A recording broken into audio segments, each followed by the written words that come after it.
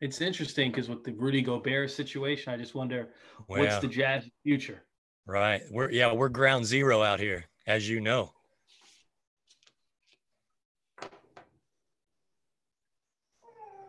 All right, my man. We're going to start in three, two, one.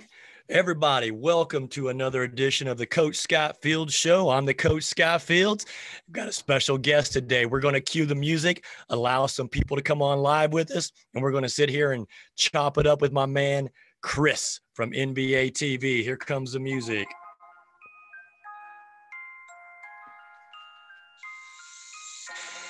Oh.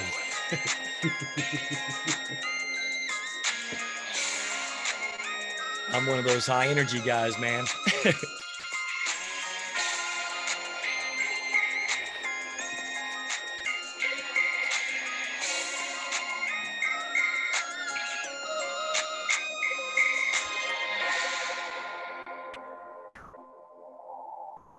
Here we go. Wednesday, May 6th, 2020. And again, you're on another edition of the Coach Scott Field Show. I uh, want to, you know, thank everybody who has subscribed to the YouTube channel. If you have not, subscribe for free to the Coach Scott Field Show channel. Also, follow and like the uh, Coach Scott Field Show on Facebook, where we usually bring it to you live. Last two days had little hiccups with that. Um, keep the reactions coming. Keep the keep the comments, keep the questions coming because we have an outstanding time. My man, Chris Miles, welcome to the Coach Scott Field Show, my friend. It's crazy. You say uh, May 6th, and I said, wait, is it March 6th? It could be either at this point. I just, I, I couldn't tell. I couldn't tell. Uh, We, we should be in the playoffs right now. And then you would be so inundated with work and travel and, you know, sideline reporting. And so it is unique times that we're living in right now. Yeah, absolutely. And it's, I've been involved with basketball my entire life. And I was saying in March, I'm like, hmm, late March, early April. Has there ever been a time where I wasn't watching or playing basketball? That's no. right. The Yeah. first time that I, when I say I can remember, ever. Period. I'm, w- I'm with you. I'm with you. It, it feels it's unprecedented to be sitting at home, physical distancing, social distancing. You know, making decisions for the for the greater good for those who are less vulnerable. So, uh, how, how are things out there where you're at right now? Are, are things doing a little bit better? Is it? Well, I'm just outside of Washington, D.C., and I feel as if, you know, I see the stories, but I'm almost detached from it because I was able to quarantine from the start.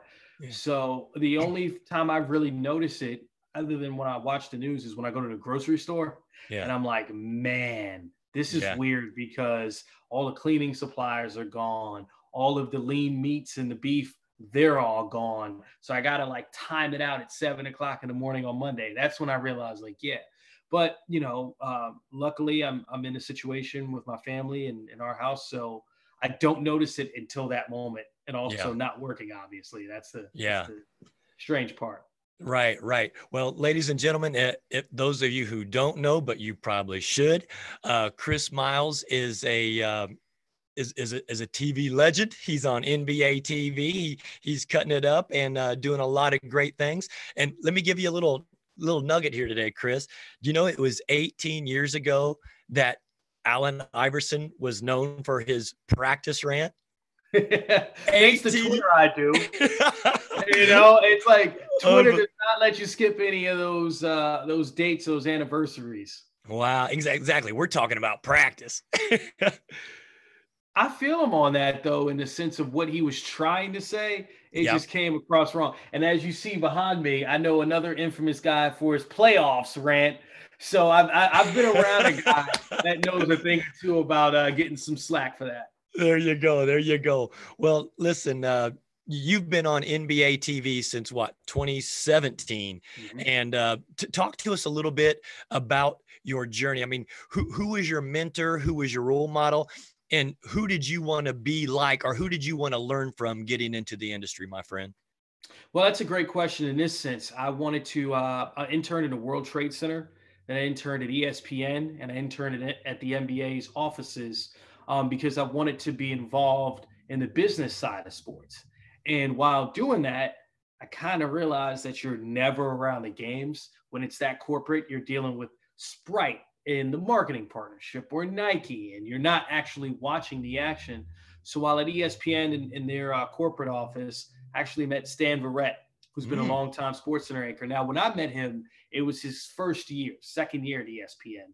And uh, a friend of mine, my boss, said, Hey, you know, will you talk to him? And he gave me a few minutes of his time. He said, Look, if you're interested in trying to be on air, I think you can since you have good presentation skills. I was like, I never thought that was a real opportunity.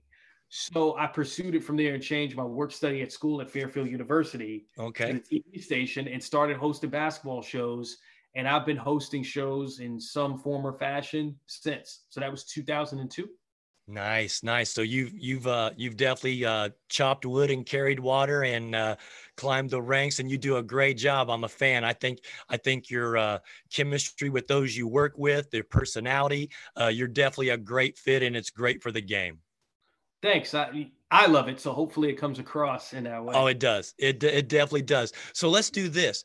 What's the day in the life of Chris Miles like? Uh, of course, I know right now with COVID 19, it's probably you know adapted a little bit but typically what's the day in the life for you to get up get preparations get the creative juices flowing uh, contact nba tv uh, put put together a show idea to where you're you know you've got you know players on with you or whatnot? Kind of take us through that process. Well so i live in washington d.c and as you know the studio is in atlanta so typically what happens let's say i'm working wednesday thursday friday in the week. Um, I make sure I DVR games almost every night. Yep. And so like when I wake up as I'm getting breakfast, I'm watching the previous night's games uh, that maybe I missed, and I'm fast forwarding through the commercials. So typically, I can watch three to four games in a two to three hour span, and I think that's very important um, in this day and age, in the sense that I get the sense that a lot of people don't watch games. Mm. They read the box scores, they look at the stats because when they say things, I get the impression that they're not paying attention. So I find that to be the number one key is they actually watch the games and make sure I catch every team as often as possible mm-hmm. to, to, have the information that I need as opposed to just seeing the box scores. And then, uh, for instance, on a travel day, if I'm on a plane, I typically have the notes from you know the most important games and following the storylines and just going over them, trying to commit some yeah. of them memory. For instance, if it's uh, Zion Williamson in the lineup for the Pelicans, well then I know that he's had ten straight games of twenty or more points, or that he's the only teenager to score twenty five or more twice against the Lakers. I try to commit some of that to memory yes. on the on a flight. So when I land and it's time to have the meeting for the show and whatever we're pre- pre- preparing for, if a player or a coach thinks something else is more important than something I I want to go with, I'm like, oh, okay, I can do that too. There you so go. it's it, I think the key to that is to always be prepared for the changes mm-hmm. because you think you're going a certain way and then something happens and it's not yeah. that. Um, when Blake Griffin got traded uh, to the Pistons, we had our whole show together. Throw out the rundown, get it together. Come out with another one page. Uh, when David Stern passed, unfortunately, throw yeah. out the rundown. We're just going out and going. And it's just from years of paying attention to David Stern, interning at the NBA, that sort of thing. I felt very prepared for it. I didn't yeah. feel as if, oh, what do I do now? Yeah. So I, you're like me you love the game you're passionate about it you've got a lot of friends in the industry so it's easy for you to pick up gather information do your research it's it's you love it so since you love it it's not really a job. Yeah i mean even now it's i find it uh, more difficult to find things to watch now. Yeah oh yeah. Normally i'm watching games and I, I think the appreciation from it comes uh, for the fact that I played, but I was I knew I wasn't good enough to make it to the NBA. Okay. So the, anyone who's in the league, um, and I would say the same for the NFL. I would say the same for Major League Baseball. But anyone who's at a professional level, there's a different level of appreciation that I have. Yeah. So for a guy like I don't know, say Fred VanVleet, you know, when I see his story and what he's doing, I'm excited for him because I'm like, yeah. man, he's a yeah. small, a smaller guard, it couldn't have it there could have been a situation where it didn't work out for him and to right. see what he's doing i think I, I bring that exuberance and that enthusiasm to the situation because i really feel it for them Great, great example. Great example. Talking about basketball, talking about Zion. I mean, uh, too bad we don't have more of a body of work to draw from. Of course, I'm a professional coach. I'm I'm always around the game. I'm always, you know, I'm with my son and I'm teaching him life lessons through the game. But who, who do you feel at this point, Chris, would be your rookie of the year if you were to vote today? Oh, it's Ja Morant, hands down. Um, I just think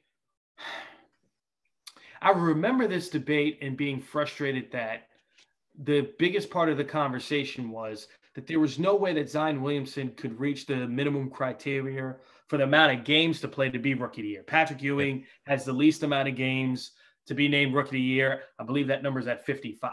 So if Zion Williamson had a full season, yeah, then maybe I think we could have an open discussion of oh one or the other.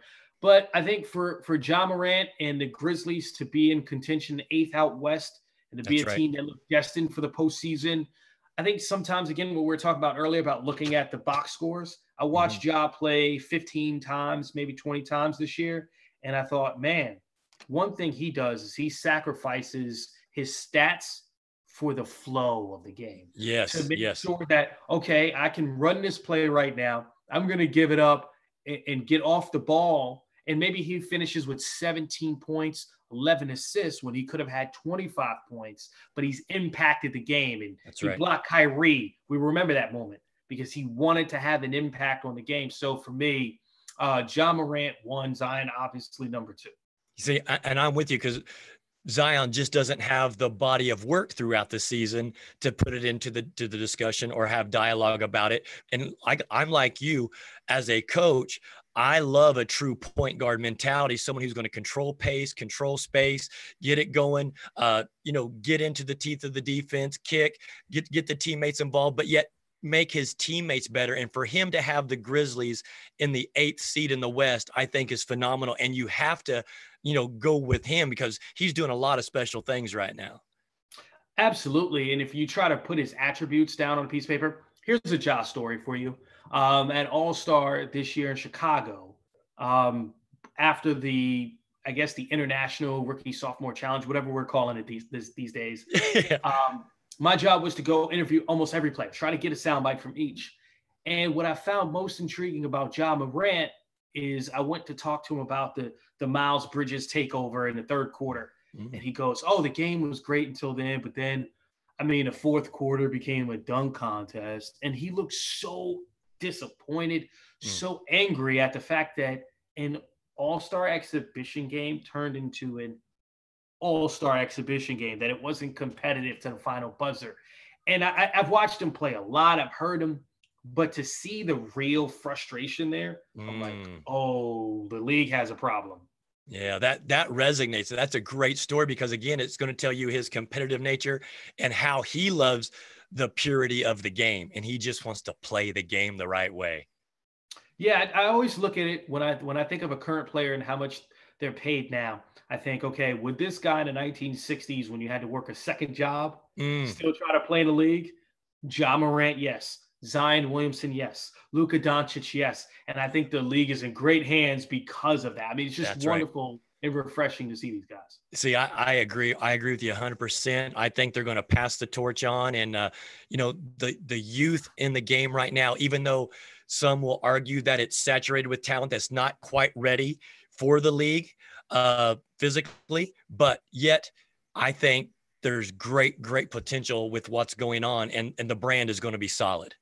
What's interesting that you say that, I saw Dwyane Wade talk about this the other day and it's as if the 22 and under crowd leapfrogged the 23 to like 28 year old crowd. Mm. When you mm. look at Luka, when you look at Ja, when you look at Zion, they said, "Oh, we're not waiting our turn. Yeah. We're gonna take it." And and to, to name some names, I mean, I would think Bradley Beal. I mean, even if you go to the 22 and under and put Tatum in there, it just okay. seems like yeah, that group said, "Oh no, we're not waiting for 25 and over. We want to yeah. win now and we're going to compete now. And I think, you know, having this stoppage in play is so frustrating because I'm like, I would love to see these guys in the postseason. Yeah. I wanted to see what Tatum was going to do in, in, the playoffs, and I hope we do get back to it. That's right. That's right. See, and I'm with you because I think these young guys they they play with they play with a lot of passion and and I love to see them compete and play with that passion. As fans, you can connect with that and you can identify with that, especially being in a Boston, you know, uh, that kind of mentality is throughout the culture there. Yeah, absolutely. Well, and then okay, how about let's go coach of the year. I, I, I, love talking about coach of the year. I and again, there, there's a lot of great coaches who have done a great job up to this point before we had the work stoppage. And of course, here in Salt Lake City, we're ground zero for it because of Rudy Gobert coming out, you know, with the COVID, and then boom, everything stops. We're in mid March. We're like, oh my gosh, and every, everybody took a deep breath, like, what is going on? But who do you like for coach of the year? So I have a list of five. Okay, so, I probably have the same list. all right, I'm going to go coming in at five for me, Brad Stevens. I just think when you look at how the players are developing and their chemistry, um, even when you look at a guy like Daniel Theis, okay, now he's a fortified starting center on a small ball team at six eight. They made that work. Jayson Tatum taking that leap again. Kemba Walker, an all star starter, fitting in. I just think all the pieces, whatever injuries they have, whatever turmoil they may have behind closed doors. We don't see it. And they're third in the East. And I think they were team poised with players that could take possessions in final minutes of games. Oh, they got two guys you know you trust, maybe three or four uh, if you count Marcus Smart as a role player that could, you know, hit some buckets. So anyway, I look at Brad Stevens in the conversation, but third in the East, not so much. Uh, Frank Vogel for the Lakers, but we know the history of the award. They're not going to give it to a guy with two MVP candidates in Anthony Davis and LeBron James. So I put him fourth. Got more to work with, yeah. Mike Malone in Denver. Uh, if it wasn't for the other two candidates, I would say Mike Malone. Just looking at uh, Nikola Jokic and what he's done throughout the mm. season and how he's progressed in the right. It just seems like the team started here this year and progressed in this way.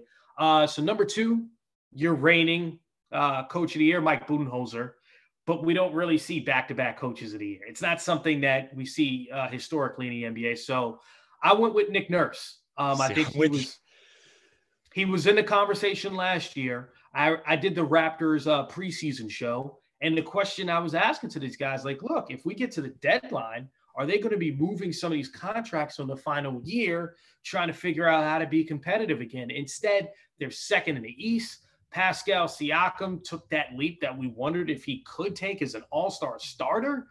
Uh, I mean, yeah. all these Kyle Lowry still playing at a high level. I got to give credit where it's due. So uh, Nick Nurse was my guy for the 46 wins. Also, I mean, the criteria is 50 wins. There's only been two coaches who haven't reached that, and it's like the Raptors were gonna get there. Yeah, so yep. I went Nick Nurse, man. And, uh, and I love Coach Nurse. I think he does a great job of of teaching them up. Uh, he makes adjustments, and when you see Pascal Siakam being the most improved player, and then could be most improved player again, like you said, took that leap uh, to doing amazing things. I I definitely say you've got to go that direction. But I also think Coach Spo has done a great job with that young Heat team, and and you know kind of navigated their way through that Eastern Conference and surprised a lot of people. Because, yeah, you got Jimmy Butler, but when you look at the young talent that he's developing and the culture that they have there, I think I think he deserves to be in the conversation a little bit. But I do like your list a lot. Here's the thing about Coach Spo that's so interesting. When he had too much talent, we left him on a because of Wade and LeBron and Bosh, the Heatles is what they were calling them, right? And now it's like, oh, they're good, but not good enough to be in consideration. But so right. yeah, he's a guy that I guess that's why awards. Uh, you know, it's good to have them, but yeah. go win the championships. That's the ultimate one, and he's got some of those. See, and, and and when when we think of questions like that and of course me being a professional coach i see it through that lens and i see the special situations. I see the sideline out of balance plays. I like the nuances and the little adjustments that are made during games and the game management. And uh, of course out here you know we had jerry sloan who did a great job for years and never got coach of the year. It's like gosh he did it so consistently at a high level for so long that it was almost just taken for granted you know yeah, I think it's the. Uh, I think coach of the year is interesting in the sense of if you're very, very good for an extended period of time, they don't want to give it to you. It's almost as you have to do something so beyond expectations. Yeah. Uh, and that's what Nick Nurse has this year. I, I believe agree. the narrative is with him. I see, and and and I agree. I I, I like that pick. Uh, and of course, and again, you always hear, you know, most time coach of the year is going to go to who is coaching the MVP. Who's your MVP for this year? Because it's a two man race, really. I mean, what do you think? So interesting enough, you're right because that happened last year. Um, like, right, and he, Yep. I, I think I don't know if I said it, but he was second on my list, his best record in the league. But again, we don't see back to back coach. the- I don't know why. Yep. You know Yep. what happens with that, but uh, Giannis is my MVP. Now, something you need to know about me. I was working in uh, New Orleans uh, when Anthony Davis got drafted. As you see, the Anthony Davis jersey there. yeah, And yeah. the general manager at the time, Dell Demps, who's no longer there, so I feel comfortable telling this story. We played uh, in a men's league together, and he oh he told me about Giannis four months before. I mean, he was salivating over the guy, and then they didn't draft him. So Yeah. when I say I was like the first guy on Team Giannis, president of the fan club, I've been waiting for him to blossom. Okay, so there's that. So to give you my legitimacy to this argument of back-to-back MVPs, um, he's playing less minutes. I think about two less minutes this season than he did last year, scoring more points, grabbing more rebounds, averaging the same assists. His three-point percentage is up from 25 to 30. And oh yeah, the Bucks have the best defensive rating in the league, and he's the one leading that charge, still averaging a block and a steal per game. He's the guy. See, I'm with you. I'm with you. I, I've uh, as as I'm hearing your analysis, I'm going over in my head. I'm like, yes, he's added more weapons and more versatility to his game because that mid range is more consistent. He's added a three, and he's more comfortable taking that three. But I love it when just like you're watching The Last Dance right now for the younger generation who didn't know who Michael Jordan was. When you can control the game at both ends of the floor, I see him doing that and he's doing it consistently. And like you said, they've got the best record in the league. And there's a lot of people saying, well, LeBron's sacrificing so much of his game to give for Anthony Davis, but yet Giannis is is just what he is. He is the freak. And right now, that young man, if he continues with that precision and work ethic that he has, it's that it, that's his. That's his trophy. And what's interesting is, of course, Giannis had the knee issue right Yeah. before the stoppage of play. So there Yep. was a conversation because LeBron was ascending. Here's the other part of that the Lakers have the fourth best defensive rating in the league, but Anthony Davis is the anchor to that. Anthony Davis clearly holds LeBron protector and rebound. Yep. Well, and LeBron had not played defense at this level for the last five years, and it's Anthony um, that's the excellent post defender that's grabbing the rebounds. So when I factor that into the equation, we're talking about the best of the best and the most valuable player in the NBA. I'm going with Giannis. Yeah, see, and, and I'm with you. And I, and I love having that conversation. You get it, you, you're around it, your finger is on the pulse. And so to hear you kind of reiterate what my thoughts are from a distance, it's, it's refreshing. So I, hey, you're, you're right on it. What surprises have you seen in the league this year where there's somebody that just was like, oh, well, I wasn't expecting that from him? Or what team has surprised you? And again, some of it we probably skirted already, but what were some of the biggest surprises in the league that you've seen to date? I would say two surprises. The Toronto Raptors, we've talked about them enough, so I'm going to move on from that. Uh, so the Memphis Grizzlies, to see a team that's like, okay, we're rebuilding. Yeah. If that's what we're doing.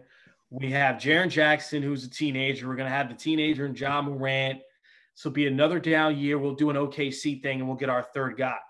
But then they got Brandon Clarke at 21, and he's top five in league in field goal percentage and plays defense and runs the floor. So they got their athletic Ibaka type of guy. Uh, Yeah. and I'm Yeah. like, wow. And then Ja Morant, his basketball IQ uh, is off the charts. So they're competitive. So I think just to see them in the Western Conference where every team has that kind of talent, where you go, okay, well, Sacramento has De'Aaron Fox and Marvin Bagley and a young team of guy, Buddy Hield. Like they can't beat them yet. Well, they leapfrogged them. You know, Yeah. or Yep. when, you, when you just look, or you see them ahead of the Blazers, Right. Damian Right. Lillard and CJ McCollum, like a team. I know they've had a ton of injuries, but the fact that Memphis is ahead of those teams, uh, That's heading down, so I'm like, okay, Memphis. And then I'd have to say on the other side of that, Philadelphia 76ers. You kidding Mm. me? You kidding me? Yeah. Just, Yeah. there, there were red flags before, but they they that looks like a situation where it's crazy that who do you keep? Time to destroy and rebuild it. So through Chris Miles's lens, if you're in Elton Brand's chair, what things would you work on to get it going in the right direction? Or is that just I get a time machine and not give out hundred million dollars. What are you doing, my man? That, I'm like, you have Joel Embiid. Ben Simmons is a basically. This is what I don't get about what they did with Ben Simmons. Oh, you're a point guard. Hello, you're a point four. We we know in today's NBA, you got Draymond, you got Giannis. You you have people Floor you space. can defend. And the thing is, Ben Simmons is an excellent scorer in the post. And Yep. when I say that, I'm going to name a name that it'll shock you. Like, well, they don't play the same. But to me, I'm like, like Joe Smith. Remember Joe Mm. Smith? I Mm, feel as if when. Ben Simmons is around the basket, obviously he's a way better passer. But man, when he catches it down low, I'm like, you know, quickly, if I'd never seen Ben Simmons playing, just saw him in the post, like he looks like Joe Smith. He Yeah. finishes both hands around the basket, and they keep him away from the basket where he's not Yeah. a threat, trying Right. to get him to go downhill. And then your pace of play with Joel Embiid. So Mm. are you a Ferrari with Ben Simmons or are you a big truck with Joel Embiid? Great It doesn't, it doesn't work. And they both score in the same area Yep. uh, around the post. Yep. So Yep. if I was Elton Brand, um, I think he has to make a choice between Embiid and Simmons if we're trying to go forward. Yep. And wow, Yeah, Just that's wow. that's tough. That, that that's a tough one. Because see, when when I see Ben Simmons, of course, he, he's not comfortable, you know, shooting from distance, which I get. But when you see him handling the ball on the open floor, I think of Lamar Odom because he had Yeah. that long, long body, long frame, long arms, great passer, sees the floor, uh, you know, can play with his back to the basket. So I, I kind of see that similarity a little bit. But again, Simmons has more tools as far as athleticism. 100%. 100%. So it, the the Lamar Odom comparison is is interesting to me because um, Odom was uh, in high school the same time I was. So I saw him a lot, a tremendous Mhm. amount. And I would say when Ben Simmons gets it in his head that he's in this attack mode, it's just this different tenacity Yeah. that Odom never like Odom I always thought would be a very good point guard, but like a role player. I think if Ben Simmons, when you see when Embiid's out and he takes it into I'm scoring mode, Yep. you know, Yep. Odom He stepped it up big. he didn't really do that often. Um, so it's an it's an interesting situation where I think Elton Brand sixth in the East. You know, I think the postseason would have uh, given us a situation we see what the future would be with Brett Brown, and we just don't know now. Yeah. Yeah. Great, great talk. When when you're sitting on the set with the fellas, whether it's Isaiah or 3D Dennis Scott or Steve Smith, who, who have you picked up the most insight from? And and you'll sit there when you're interviewing them or you guys are talking, and all of a sudden they drop some knowledge as you do. Who who impresses you the most when you're like, whoa, okay, that is some insight. Because they all bring something different to the table because of the positions that they play. But who every once in a while just like, wow, that's I'm not being political here, and I'd say almost all of them. And and what I mean by that is, for me, loving basketball, playing basketball, I still play to this day. Yeah. it's a different level of understanding. And Mhm. you mentioned player. I mean, David Griffin when he was around, I feel as if I learned. I don't know if my capacity right now is 100 percent right. I think 20 percent of that came from what David Griffin would say. I felt Wow. challenged. I'm like, yeah, I like that. Okay. I learned an, I learned a new phrase and I learned, oh, what is this, Griff? And you know, the, the fact that he, I mean, I don't know if you're aware of this, but David Griffin knows about 13 year olds in Latvia. yeah, right, right. Yeah. He's like, I'm writing names down, and I'm like, what is wrong with this guy? So that's a whole different realm.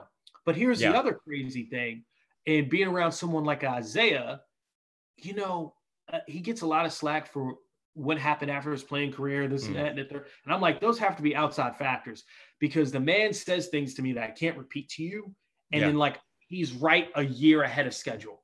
Yeah, gotcha. Uh, I, well, I guess I could say eh, I don't want to get in trouble. Right, right. I got you. Right. There are things that he told me three years ago that came to fruition two years later. There you go. Yeah. You know. Yeah. Just to have so, that foresight. Yeah, great. I mean, and, and again, I didn't want to overstep boundaries there or put you in an uncomfortable position. I was just curious, like, you know, when you're sitting there and and analysis is going on, I, I'm just I'm sure that every once in a while you're probably like, whoa, that was well, that's deep. Even at times, again, when like when Charles Barkley is around mm-hmm. and he'll place a call and I'm sitting there right next to him and then he'll say something to me. And see, things that he says, he does his comedy because a lot of time he avoids the controversy by saying it in that way. Yeah, you sure. Me? Oh yeah. And being around him before that moment, it's not as if he doesn't understand the situation. It's like he overstands what could happen. So then he says this thing. I'm like, brilliant.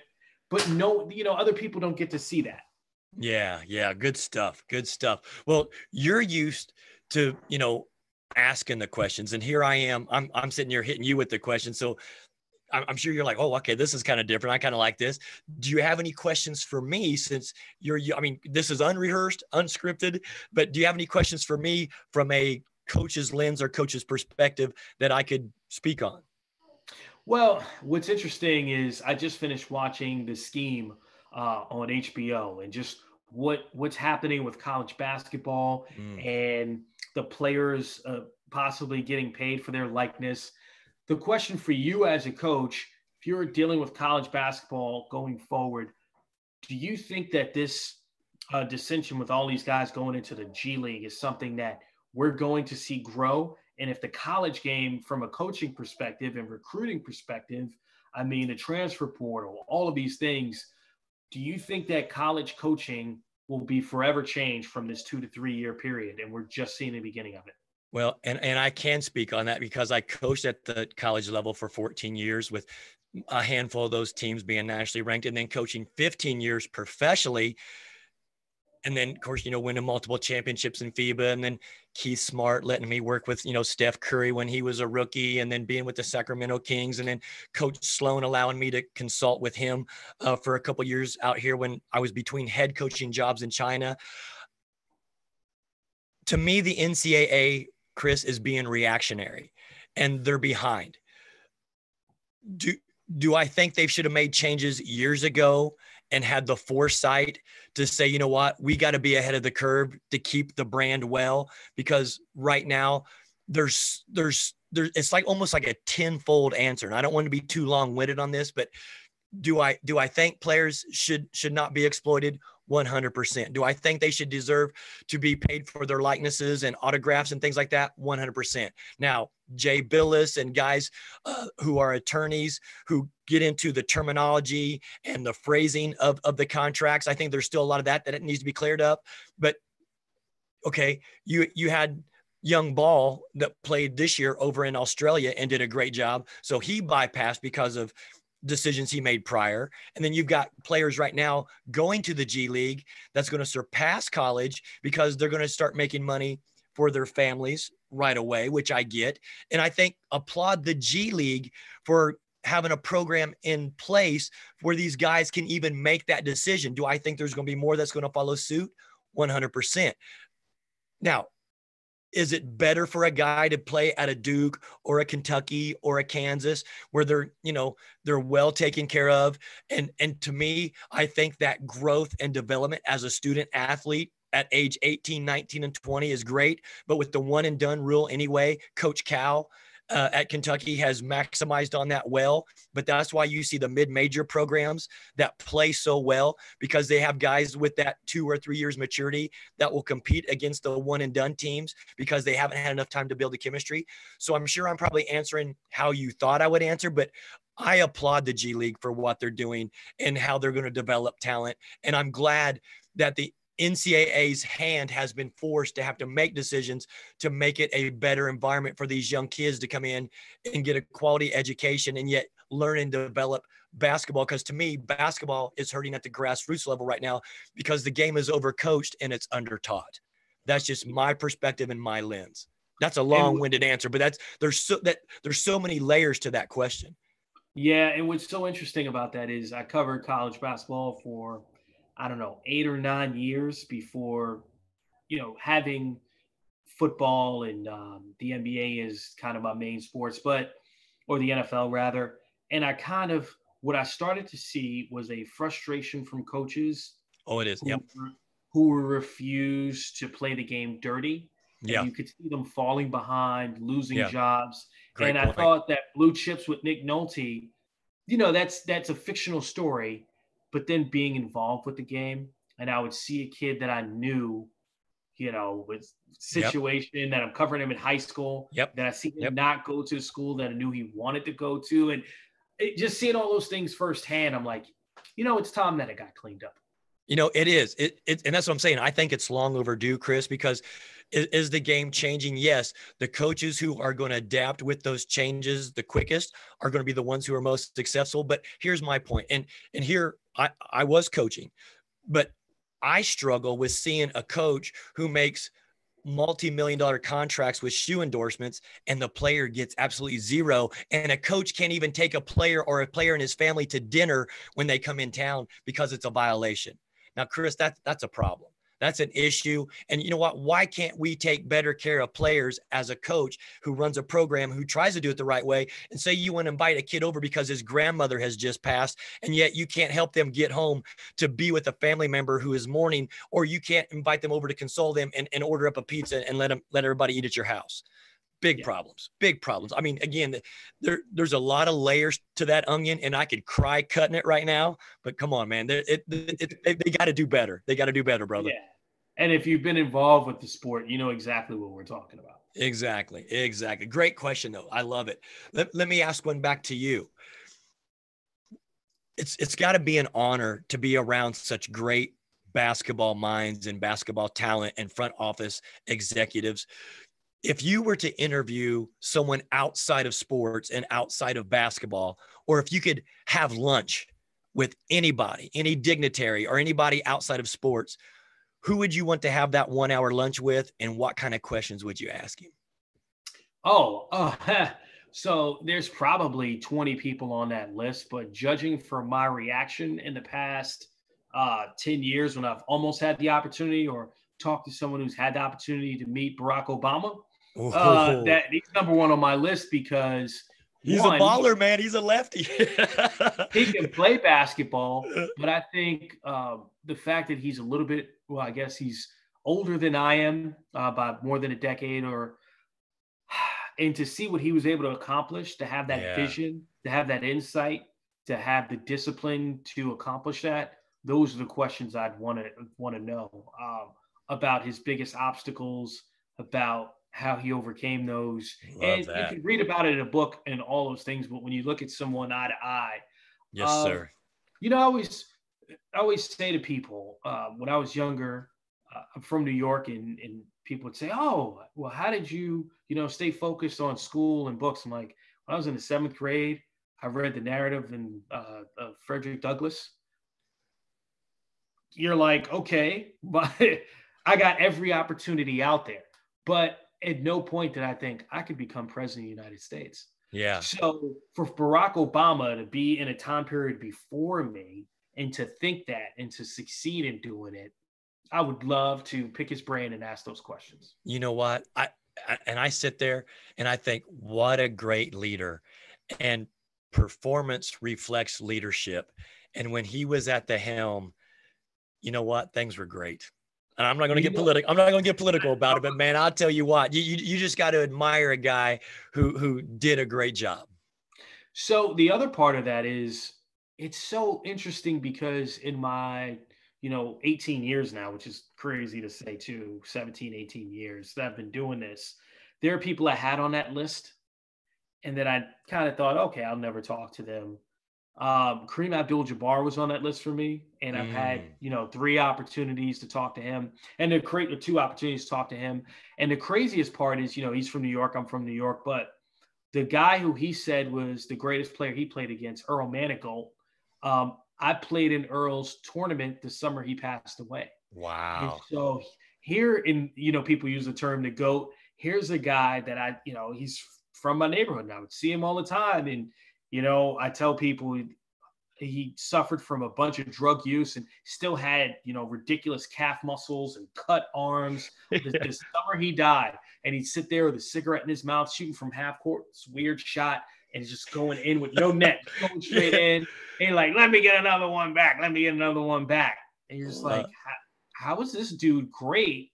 But then now that I'm older, I think, how was that dude still built like that? You know, that's awesome. So, just to be able to talk to Kareem about yeah. what Earl was like as a young player and to see him smile and talk about it and ask Kareem about growing up in Dyckman, um, where you know there's a lot of good outside basketball tournaments now. He's yeah. like, yeah, they play there. It's kind of strange. I had to travel to play basketball. it's just, oh, great.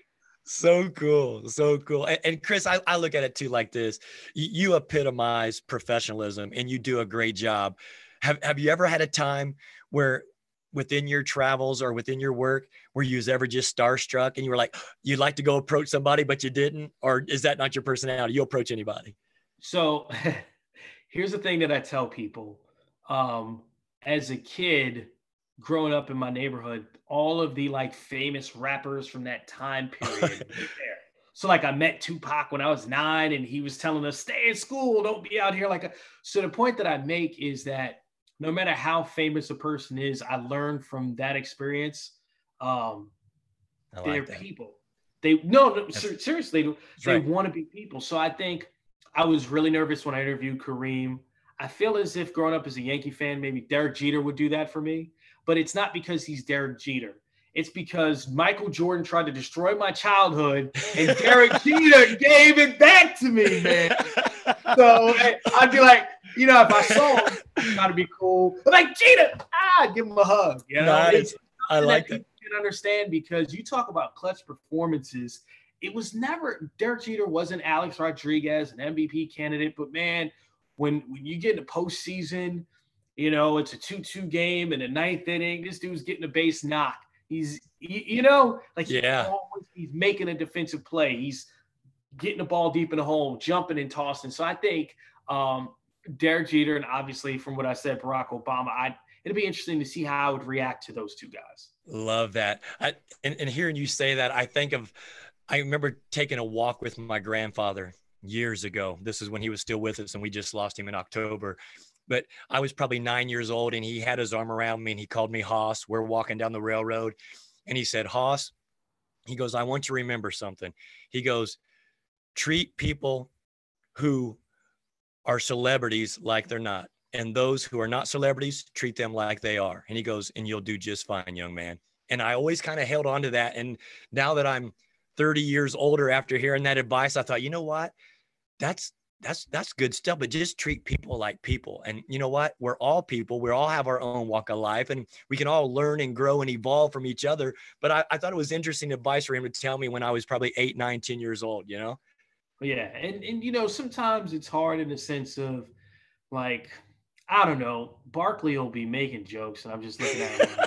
it's because he's funny. It's yeah. not because he's Charles Barkley. I'm just like, all right, I'm not that funny, so I'm gonna fall back here, and it might get awkward. Or like, you know, Shaq's huge, so when he walks in the room, like, I'm not gonna say anything to upset big fella. Yeah. You know, because if he wants the to big Aristotle. Around, yeah, he, he could definitely do it. And and I bet one of these days you're probably going to get that phone call. Hey, Chris, uh, would love you to come do Shaqtin' a Fool with me. yeah, that'd be funny.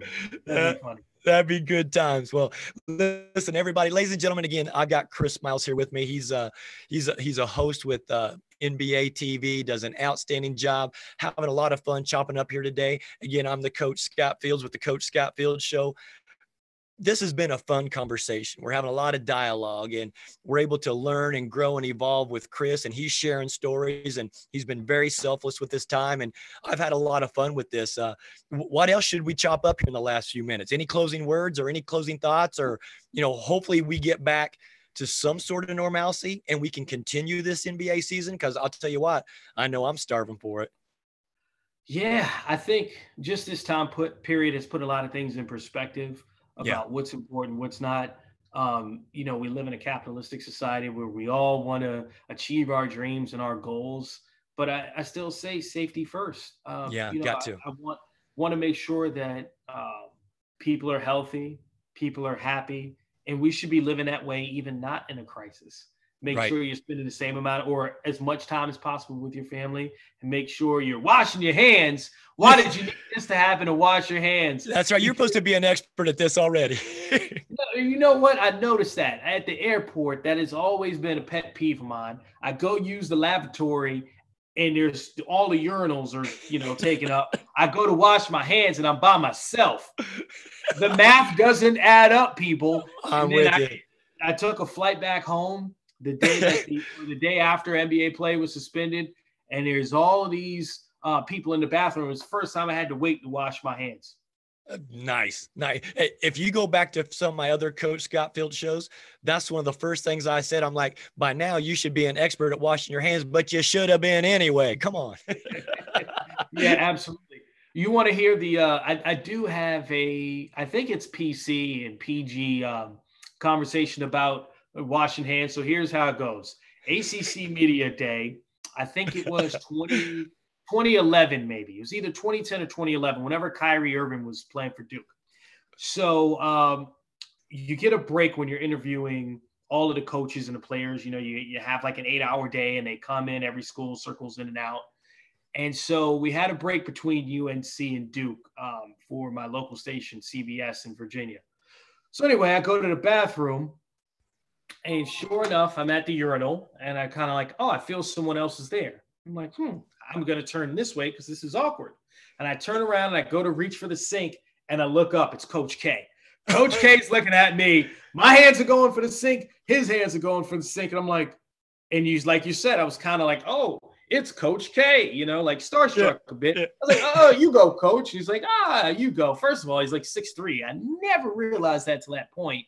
I'm like, oh, okay. I wash my hands and whatever. That seems like the end of the story. But he comes in, we do the media day, and I was the only person out of 63 media members that voted for. Um, I think it was I voted for UNC to win the conference, to win the ACC, and 62 other people uh, voted for Duke. And then, so after all the votes were tallied, they sat me down and they were like, okay, we think you made a mistake. I was like, I think you guys made a mistake having me in here asking this question. They're like, well, why would you pick UNC? Because Kyrie Irving was a freshman, Nolan Smith, the reigning ACC player of the year. I said, well, I listened to what everyone said, and I think the Duke's going to struggle a bit with chemistry.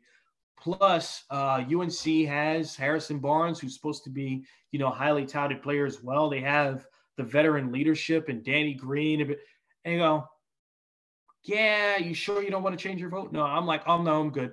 UNC won the ACC that year. And I was the only Folio that voted for them to do that. You can I check like- it out. There's an article out there. I think it's from like the Charlotte Observer or something. There you go.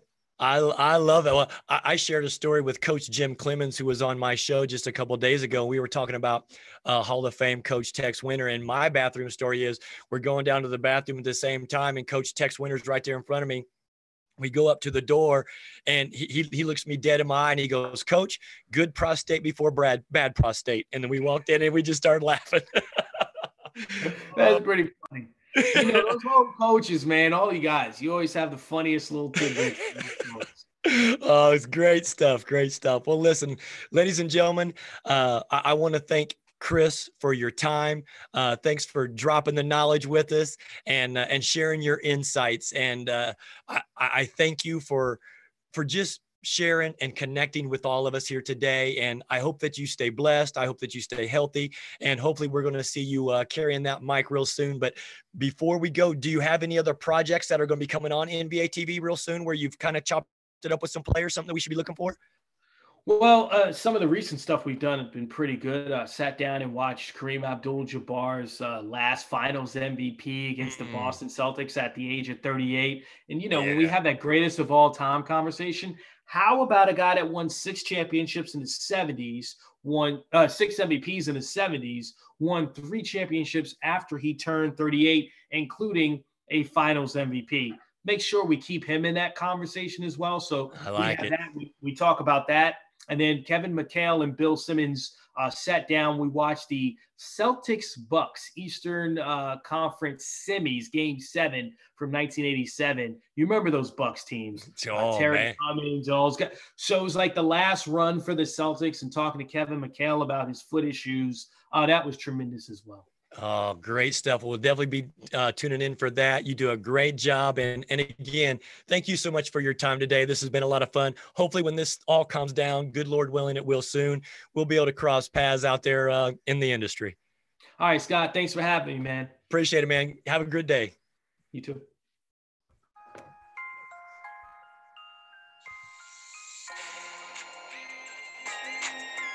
All right, my man. You stay safe out there now. All right, you too. Good. Thanks for having me. You got it, brother. You got it.